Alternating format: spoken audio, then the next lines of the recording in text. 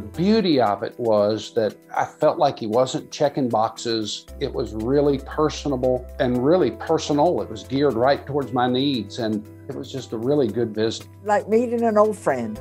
That's the way I felt. I did not feel uncomfortable at all. I could uh, chatter my old self away and they could glean things about me because I knew that's what they were there for to begin with. It's really good.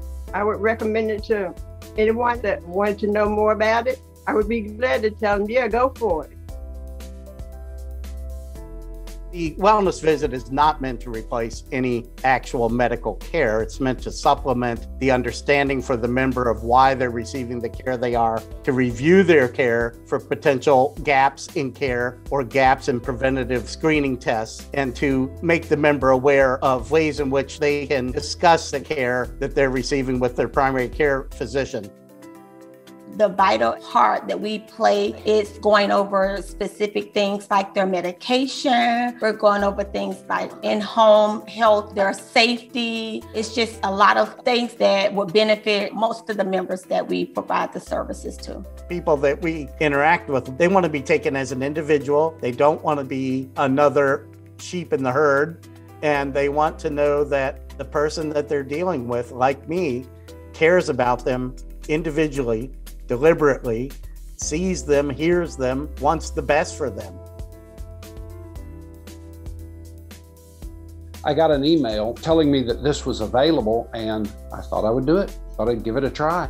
They introduced themselves, who they were, and what they were here for. And they did give me a call ahead of time and let me know what day they were coming or what time that I can expect them to be here. It took a, almost an hour, but it was one of those hours that, you know, it uh, didn't seem like it was an hour. I'm not being too effusive to say he was a guy I'd probably like to go fishing with. He did it well, and Humana chose him and the questions very well because I felt like they were all geared to me personally. When I first signed up for Humana, it was one of the suggestions on my policy. And so uh, he suggested it, and I said, okay. And he said, do you have any qualms about it? And I, I didn't think I did because I figured that Humana would vet these people and make them safe professionals to come into people's houses. So I really didn't have any problems with it.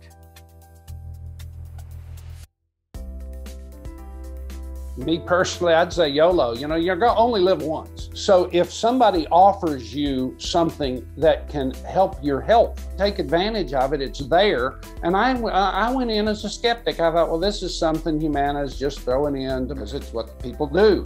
But it was really a valuable experience, really valuable. Our job is to really do a good job for these people so that they're treated in a way I would want my own family to be treated.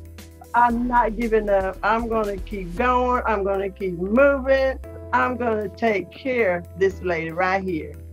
I'm going to take care of me.